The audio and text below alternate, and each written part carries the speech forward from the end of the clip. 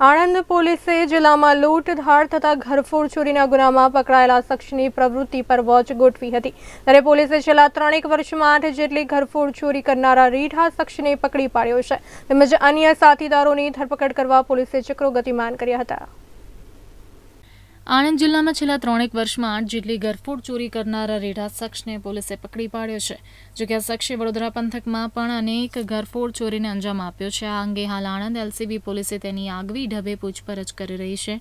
આણંદ સ્થાનિક ગુના શોધક શાખાના પોલીસ ઇન્સ્પેક્ટર કેજી ચૌધરી સહિતની ટીમ અગાઉ લૂંટ ધાડ તથા ઘરફોડ ચોરીના ગુનામાં પકડાયેલ શખ્સની પ્રવૃત્તિ પર વોચ રાખી હતી.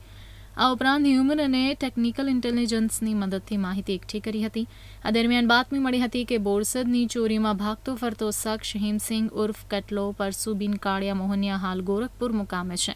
આદિ પોલીસે ઉત્તર પ્રદેશ જઈ તેની અટકાયત કરી આણંદ લાવ્યા હતા. ત્યારબાદમાં તેની પૂછપરછ કરતા હિમસિંગ અને તેના સાથીદારો સાથે મળી ભાલેજ, ખંભોળજ, પેટલાદ અને સુજિત્રા પંથકમાં આઠ જેટલી ઘરફોડ ચોરી કરી હોવાની કબૂલાત કરી હતી.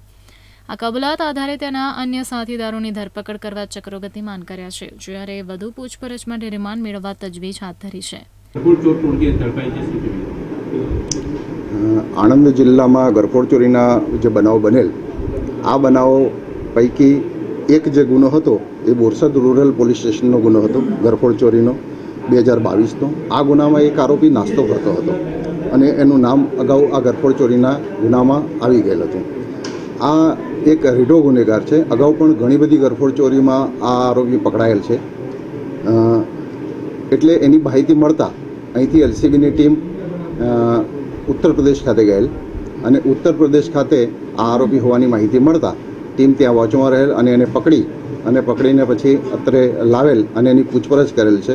જેમાં આ આરોપીએ આ બોરસદ રૂરલ પોલીસ સ્ટેશનનો ગરફોડ ચોરીનો ગુનો કબૂલ કરેલ છે. એ સિવાય ભાલેજ પોલીસ સ્ટેશનના ત્રણ ગુના ખંભોળજનો એક ગુનો અને બીજા પેટલાદ રૂરલ અને પેટલાદ ટાઉન અને સોજિત્રા એમ કુલ આઠ ગુનાનીમાં ગરફોડ ચોરી જે ગુના દાખલ થયેલા છે, એ ગુનાની કબૂલાત કરેલ છે. એ સિવાય પણ આ આરોપી વડોદરા શહેર અને વડોદરા ગ્રામ્યમાં પણ આઠેક જેટલી જગ્યાએ બીજી જગ્યાએ પણ ચોરીઓ કરેલાની કબૂલાત કરેલ છે. એ જગ્યાઓ એણે આગળ ચાલીને બતાવેલ છે. આ આરોપી ખૂબ જ રીઢો ગુનેગાર છે. એટલે એના બીજા ત્રણ સાગરીતો જે છે એ પકડવાના બાકી છે. એની સાથે મળીને આ ચોરીઓને અંજામ આપેલ હતો. મોટા ભાગે રેકી કરી અને આ ગરફોડ બંધ મકાન હોય તો એનું તાળા તોડી અને ગરફોડ ચોરી કરવાની એમો ધરાવે છે. અને અગાઉ પણ અમદાવાદ ગ્રામ્યના ત્રણ પોલીસ ત્રણ ગુના છે. એ સિવાય બીજા ગુનાઓ પણ છે, એટલે રીઢો ગુનેગાર છે. અને એ ચોરી કરવાની, આ પ્રકારની પ્રવૃત્તિ કરવાની ટેવવાળો છે, એના આધારે આ કાર્યવાહી હાથ ધરેલ છે અને ઘણા બધા આઠેક જેટલા ગુનાઓ આ કામે ડિટેક્ટ થયેલ છે. કેમેરામેન ભગવાન સિંહ સોલંકી સાથે ભૂમિકા પંડ્યા, લાઈવ ગુજરાત ન્યૂઝ આણંદ.